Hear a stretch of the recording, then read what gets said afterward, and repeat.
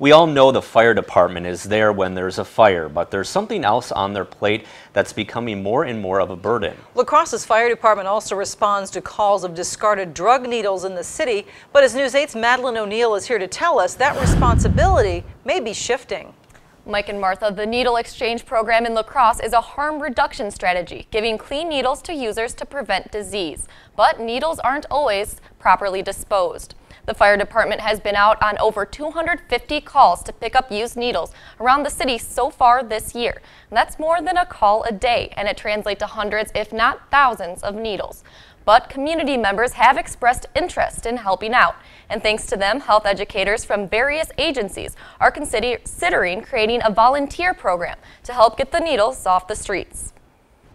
You don't want to be at a park with your kids and come across a needle. About two years ago, the La Crosse Fire Department would often get just that kind of call. Instead of trying to stay on the phone with the caller, telling them what to do, it was just quite frankly easy. It was easier for us to go down and pick up the needle. Since then, the calls keep coming, and the responsibility has fallen onto the department. If a needle is found in the city, they pick it up.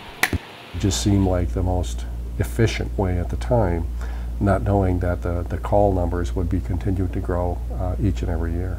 The fire chief understands the benefits of a needle exchange program, but the needles have become a burden. If I have the opportunity to do training, inspections, uh, or any of the other functions, I'd much rather do that than to go out and pick up a needle. In the future, that may be a reality.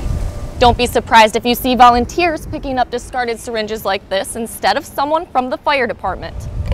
Based on people coming up to us and saying, hey, we are interested in helping to pull these needles off of the street. Is there something already in place that we could help with that? And we started thinking, well, there are programs, uh, needle exchange programs, that do have volunteer sections that they can call on to go out and pick up those needles. The Heroin and Other Illicit Drugs Task Force is working with several other community agencies hoping to give community members a hands-on way to help. Gives people the opportunity to, you know, uh, be a part of things that are going on in their community and, and contributing to a very complex issue in terms of drug addiction. That's the way that we need to solve our issues, working together and creating solutions that work for everybody.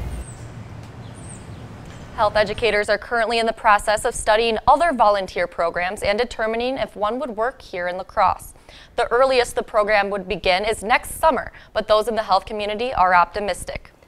Thanks a lot, Madeline. And if you find a needle now, you can always give the non-emergency dispatch number a call. And even though risk, there is a risk of contracting HIV or hepatitis C, from a needle, it is small. If you do decide to discard of the needle yourself, make sure you're wearing gloves, avoid the point of the needle, and also deposit it in a sharps container. You can then take the container to the AIDS Resource Center or call the fire department.